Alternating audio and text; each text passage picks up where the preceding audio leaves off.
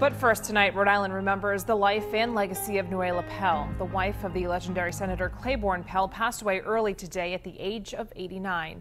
Nuala Pell became well known in her own right as a prominent advocate for the arts and humanity, education, and women's health. She was also the grandmother of gubernatorial candidate Clay Pell and attended his campaign kickoff back in January. Eyewitness News reporter Jared Pliner joins us live from Newport now with more on how Rhode Island is paying a tribute to Nuala Pell's legacy of service. Kelly, good evening to you. Behind me is the Pell Center for International Relations and Public Policy, a place Nuala Pell cared deeply for. And for the students, faculty, and staff here, it was mutual. This was Nuala Pell at her last public appearance in January, speaking at her grandson Clay's campaign kickoff for Rhode Island governor. I thought my time in politics was over. Nuala Pell, of course, widow of the late Democratic Senator Claiborne Pell, who represented Rhode Island for nearly four decades. Now striving to continue the family's record of public service, Clay Pell paid tribute to his grandmother in a statement to Eyewitness News. It reads, Our entire family is heartbroken by my grandmother's passing. She dedicated her life to her family and to the service of others. We could not have asked for a better parent or grandparent than Mimi. We will love and miss her more than words can express. And from family friend and Senator Jack Reed, I join with all Rhode Islanders in mourning the loss of an extraordinary woman. Nuala Pell worked hard to give others opportunity, and she did it with incredible grace, decency, and compassion. Her legacy of kindness, generosity, and working to expand opportunity for others will continue to live on.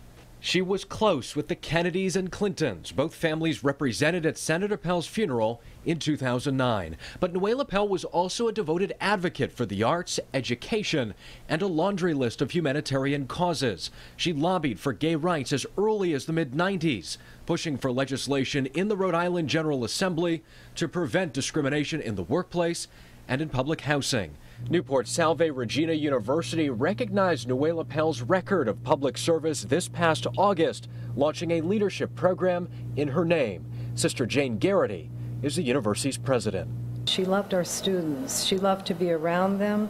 She loved to hear what they were doing, um, and it was a it was a genuine caring for them. We will miss her. We'll miss her very much.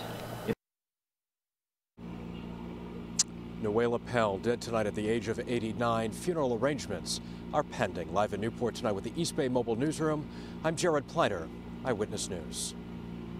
Condolences continue pouring in from Rhode Island leaders and those whose lives were touched by the, the service of Nuala Pell. Rhode Island Governor Lincoln Chafee had this to say, quote, her passion for scholarship and the humanities led to a decades-long advocacy of public service and philanthropy. My sincere condolences to the Pell family as we celebrate the many accomplishments of this remarkably talented and caring woman who has left her mark throughout our state.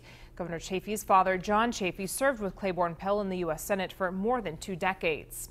Senator Sheldon Whitehouse also released a statement today saying in parts, I join with all Rhode Islanders in mourning the loss of an extraordinary woman, Nuala Pell. She had a timeless elegance and charm and was just a beautiful person.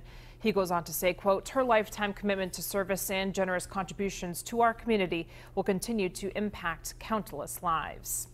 And Providence Mayor Angel Taveras, who's opposing Clay Pell in the Democratic gubernatorial primary, had this to say, quote, Nuala Pell's contribution to the state of Rhode Island has been immeasurable. Her passing is a great loss to our state. I send my heartfelt condolences to Clay, Michelle, and the entire Pell family. Count on